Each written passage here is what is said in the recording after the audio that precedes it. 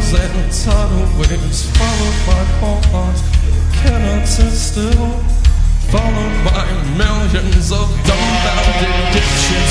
Some say the end is near. Some say we'll see Armageddon soon. Certainly hope we will. I should have used a vacation from this stupid shit.